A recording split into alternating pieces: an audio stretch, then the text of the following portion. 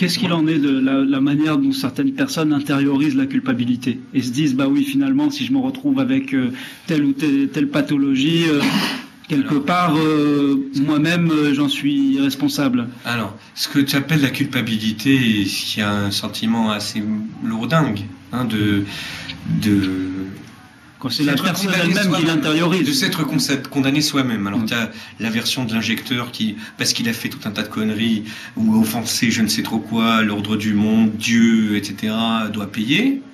Mais tu as la version aussi de la nana qui est sortie avec un, avec un tox séropo, qui a pas mis de préservatif parce qu'elle l'aimait, puis qui s'est contaminée au bout de je sais pas combien de temps, et euh, bien qu'elle est, euh, et qui dit je l'ai bien cherché et qui a, elle a des enfants, elle dit je vais mourir de toute façon, c'est bien fait, enfin quelque chose comme ça.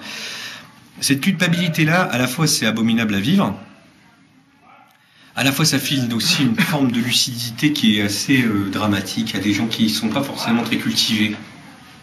C'est-à-dire ça leur permet de répondre à un certain nombre de questions humaines, dans lesquelles en général, moi j'irais plutôt chercher les réponses dans des bouquins, et euh, où... Euh, où euh, je trouve des réponses chez des gens donc, que j'attendais pas. En clair, quand tu fais, euh, quand tu interviews des gens dans la rue pour savoir s'ils vont mourir un jour, la plupart te répondent euh, peut-être. Quand tu poses des questions à des gens qui ont vu le virus de très près, voire qui l'ont, ils te disent répondent pas peut-être. Voilà, ils savent que oui. Donc ça file une certaine forme de lucidité et puis surtout cette histoire de culpabilité en fait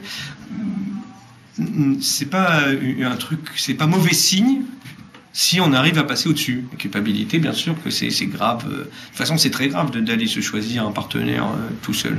C'est toujours euh, un mauvais choix. C'est jamais ce qu'on aurait dû faire euh, si on était bien élevé.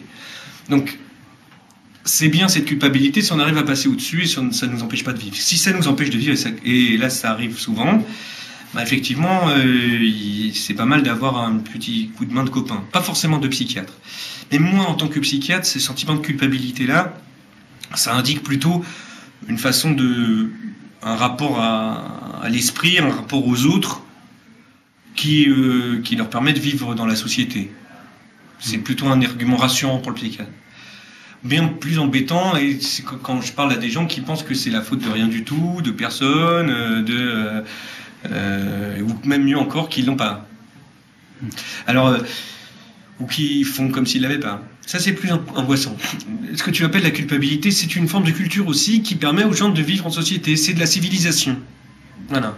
Alors que les gens euh, qui n'ont pas cette culpabilité-là, ben, c'est pas de la civilisation, ça peut être d'autres choses. Voilà. Et après, je peux te raconter pendant trois heures, tu, tu veux coucher avec moi?